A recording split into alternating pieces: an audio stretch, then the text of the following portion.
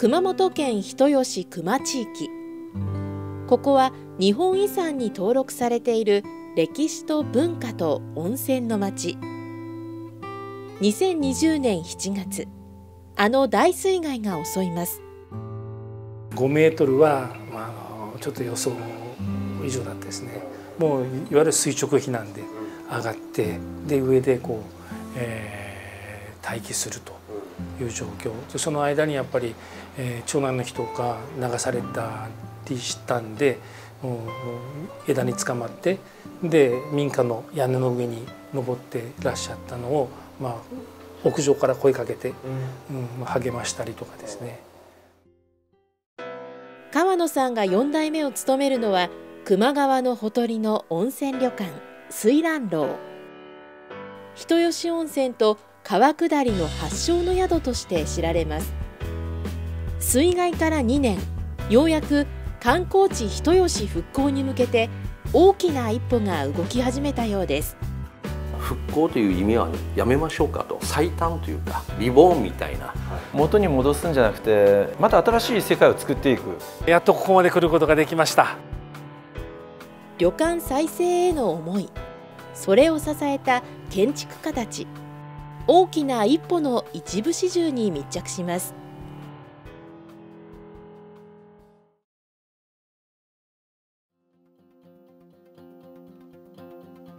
2022年9月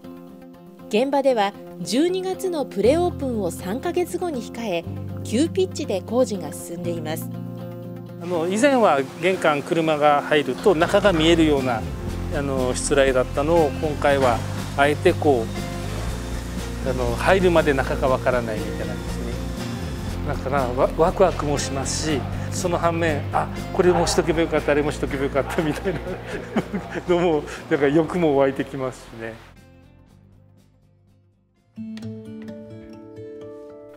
水害からちょうど1年後に復活した八千場をはじめ数々の人吉の観光拠点のデザインを手掛けてきた有名デザイナー水戸岡英二氏水蘭楼の外壁も同氏が掲げる人吉グランドデザインをベースに人吉ブラウンが採用されています。グランドデザインを水戸岡先生に作っていただいたんですよね。緑の景色の中にその借景の中に今度は溶け込むようなそういうカラーリング。それとちょっと落ち着いたようなまあある意味今風の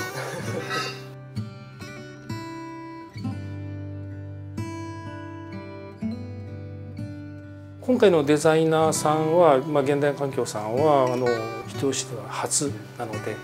まあ、私の中では現代環境さんをもうがっつり信頼しているので、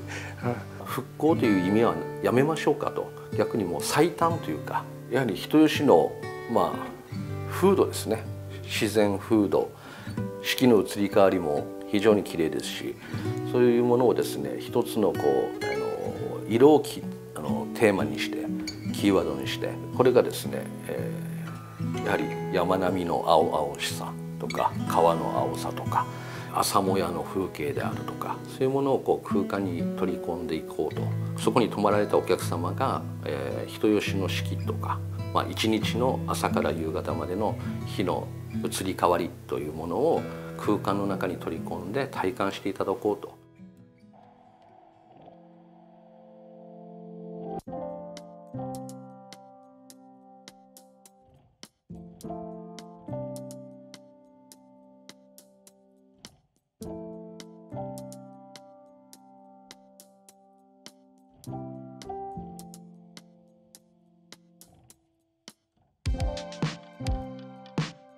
この釜風呂が新設になったんですよね。お客さんにちゃんと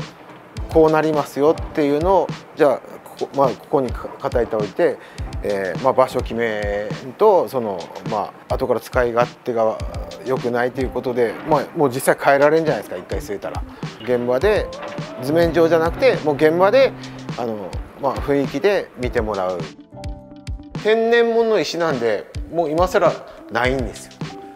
だけストレスあるやつ使わんとしょうがないんですよ。そこの使った石はこっちに回さんと結局お金も考えんといかんので新しく作ったらお金がかかるじゃないですか、うん、そこまではだって設計図には立ってないんで、うん、この柱が上までいっとらんじゃないですか、はい、っていうことはそのぐらつくんですよね、したらその中のその、まあ、下での留め方とか、はい、あの固定の仕方ですよね、その辺はあのだいぶ考えましたよ。金門とかでだいぶトマトですもんね。あの挟み込んでからですね。見積もりの時から関わっとるので、まあ、自分でしたいなと思ってたんでこのお食事宅ところはしたいなと思っただけですよ。こんな組子なんか使うことは。多分もう今今から先ないでしょうから。これ今あの初めて火入れをしてこれが原始焼きっていう焼き方なんですけど、えー、炭をこうタワー状に積み上げて、えー、お魚を刺してでこれをちょっと演出でこうお客様の方に見えるように何本かこう立てましてでやっていこうかなと。いよいよ始まりますね。もう本当本当ドキドキしかないです。約6割の、えー、メンバーが帰ってきてくれました。残念ながらあの自宅が被災した被災したりとかして、えー、この土地を去っていったメンバーもいるんですけども新しくまた今回、えー、約まあ3割ぐらいの新入社員が入ってくれました。日々日々こう、えー、人の面も整えていきながら、えー、とはいえまだまだあの完全形ではありませんが、えー、これから完成形を目指していきたいなというふうに思います、頑張ってますよみんな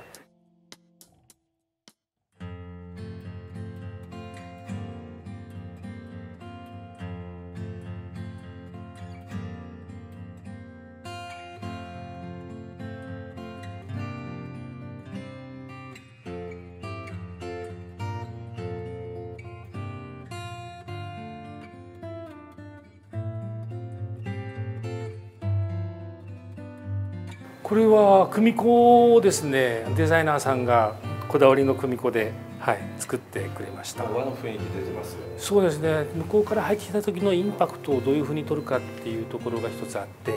最初はこのあの赤の壁だったんですけど、これに組子を入れてこの組子をまた、えー、お食事どころの間仕切りにもたくさん取り入れたような形で。これなんか特徴的です、ね、そうですね。ここはあの、えっと、左官の塗りをこうちょっと立体的にされてて下からのライトアップでぐっとまた雰囲気が変わったような感じですね。これ形は何か川のはい。球磨川のイメージ球磨川と山のイメージだと思いますね。チェアをこう少し並べて、はい、せっかくできそうですねそうですね。まああの寒い時はやっぱ寒いと思うんですけど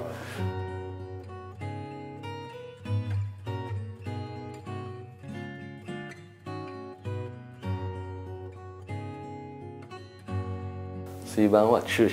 にして着工しました。で着工しながら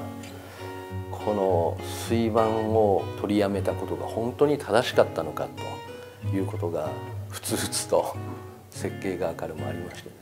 やはりあの水盤の費用を捻出できないのかと尾形さんにですねご相談して涌田さんの担当者の方の熱意で予算内であれは収まったんですねエントランス入ってすぐこう火と水の絡んだそこの空間っていうのがやっぱり復活できて非常にこう良かったなとこれはまああのお施さんにとっても本当に良かったんじゃないかというふうには思ってますね。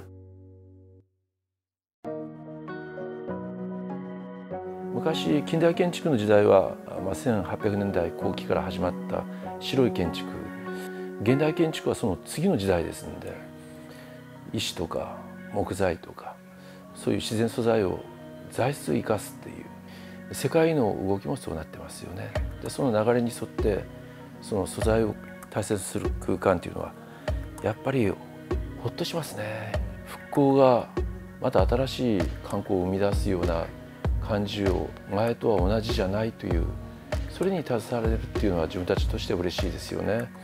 日々のお仕事の疲れだとか記念日の旅行だとかにこう来ていただいてこの環境を感じていただきながらこう、えー、思い出を作っていただく新しいハードって言いますかやっぱり器がすごく大事でであのその器の作品を今回あの和田さんに作っていただきましたんで今度はその作品の中にですねもう血と気持ちを通わせないいかんとですよ。でそのためにどうしたらいいのかっていうのをもう日々日々、えー、追求し続けて。元に戻すんじゃなくてまた新しい世界を作っていく、まあ、そういうクリエイティブなですね思想でこの復興事業が始まったのかなと思うと先行きまた新しい道が開けるんじゃないかな。非常にあの楽しみですね。今後のこの旅館運営がですね。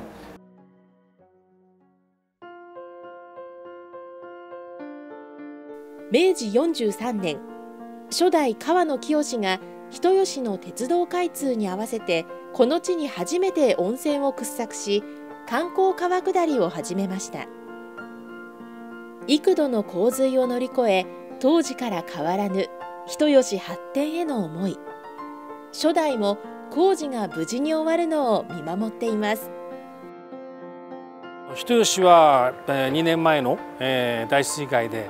鉄道も流されるというその未曾有の災害があったわけですけどもそれから少しずつ回復をしていってますがまだまだ時間がかかるのが現状です。でその中でまずは私どもができることを一つずつやっていく。その積み重ねが全体の力になっていければなと。まあ、熊本は地震もあったし水害もあったしえー、火山もありますもうどこでどういうふうな災害が起きるか分かりませんけどもけどそれぞれの地方で頑張って、え、復活してきてる、え、仲間がいますしそれその仲間の中にやっと私たち2年半ぶりに参戦できるわけですからあの頑張って、え、胸を張って頑張っていけるそういう、会社でありたいな宿でありたいなというふうに思います。